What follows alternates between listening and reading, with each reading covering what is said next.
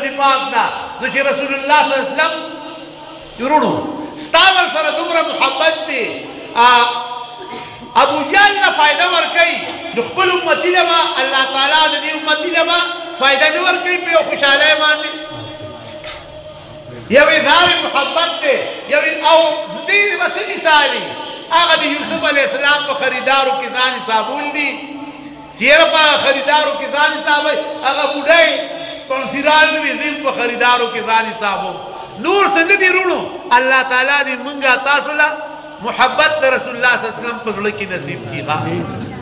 رسول الله صلی الله علیه وسلم عجیبه دنیا ته د عدل سبق ورکړ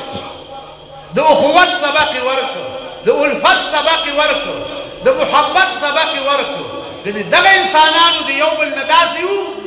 چې یو بل به یې خوړل لکه د زمرو، لیکن د الفت، د محبت، د ایثار، د قربانۍ سبق یې ورکړ، د صبر تلقین یې ورکړ، او هغه انسانان په یو فلیټ فارم باندې ودرول چې هغه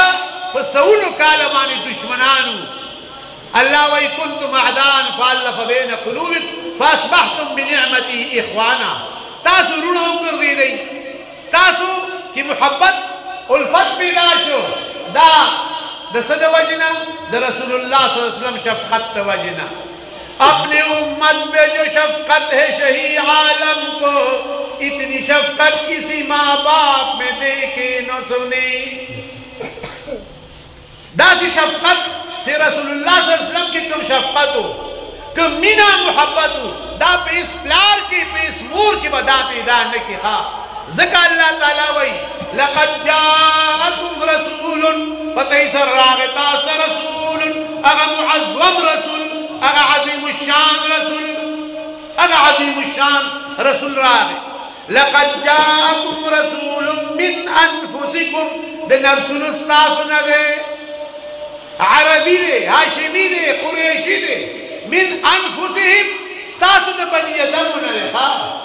بني ادم دی پیری نه دی ملک نه دی ملایکی خدمت کوي او ملک نه دی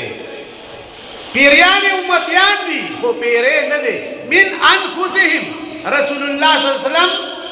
ذاتا بشر او صفتا نور صفتا نور خانه دنیا ته دا نور راوړ کنه دنیا ته نور راوړ قران نور دی دنیا ته نور راوړ رسول الله صلی الله علیه وسلم نور دی دنیا ته نور راوړ او ذاتا بشر صفتا اخلاقا هغه نورو دا یاد ساتئ لقد جاءكم رسول من انفسكم د نفسونو ستاسو نه بني ادم دې کې اشاره بني ادم اته یو سړی ورته نور وایي ته به مخه پکې ګستاګې نه کولی تا ورادي صفاتن هغه نور دې کنه او صافي نوراني پکې دي الله ورته طه خطاب ولې ورکوي یاسین خطاب ولا ولې ورکوي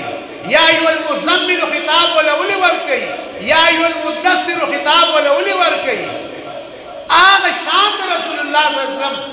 په قران ذکر کوي رونو من انفسکم عزیز علیه سخت لګي په دې رسول الله صلی الله علیه وسلم باندې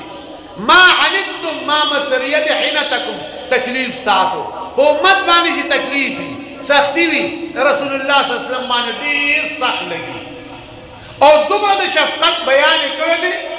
عزیز علی ما عنتم حریص علیکم او ډیر حریص دی په فایدې ستاسو باندې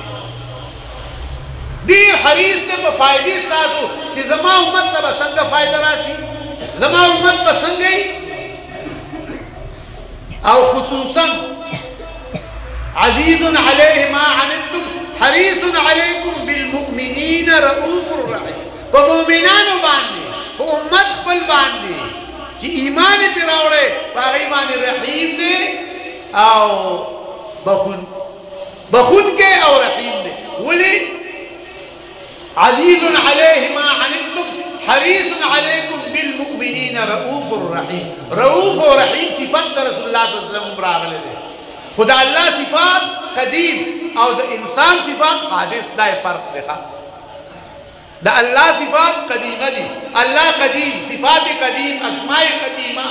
او د رسول الله صلی الله علیه وسلم صفات حادث دي، هغه رؤوف الرحیم دی خو صفات یې حادثه دي.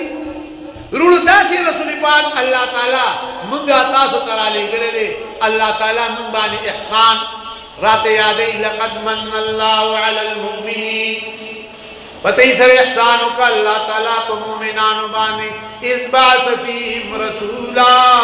هغه وخت کې چراوي لګي په دې کې رسول رسول الله صلی الله علیه وسلم راغې موږ باندې الله تعالی انعام وکړو دومره انعام را باندې وکړو الله تعالی وایي وما ارسلناك الا رحمه للعالمين ما نه لېږلی تا لره رحمت مګر په په عالمینو کې ما نه لېږلی تا لره مګر رحمت په عالمینو کې یو عالمي دنیا لرو یو عالمي برزخ دی یو عالمي اخرت دی سیوا کوی ما یعنی عالمین ډیر دي خو تی صرف بنی ادم پیریان او دنیا برزخ اخرت په دې درې والو کې رسول الله صلی الله علیه وسلم رحمت دی رونو دنیا کې رحمت دا دی دا رحمت دی رسول الله صلی الله علیه وسلم تشریف دنیا ته راړو انساني دا تباہی نه او د هلاکت نه نجات ول ورکو او د انسانیت سبب او مقام ورته خو چې ته خدای الله محبوبي تخپل ځان پیژنه د انسان کمالات انسان ته وخول د انسان شرافت یې وخو د انسان عظمت یې وخو د انسان مقام یې وخو و انسانه ته پس ځناورو په کارونو لګیا یې رحمت دی وروڼو په دنیا کې او څنګه رحمت نه دی په دنیا کې داسې رحمت دی وروڼو